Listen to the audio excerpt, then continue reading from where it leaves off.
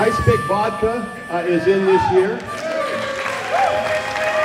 Sean, thank you very much for making that work. Every cooler is going to be filled with uh, a Bloody Mary kit. That's Ice Pik Vodka. There you go. Uh, Carlo from South Shore Meats, uh, who helped who helped underwrite and fund the Brockton Football for You camp and is very involved now. You can thank Carlo for those delicious Boston strips that were here from South Shore Meats. But so when he found out that we do this football camp in Brockton, he wanted to be part of what we're doing. It's always great uh, to have new partners in anything that you endeavor. So thank you for that.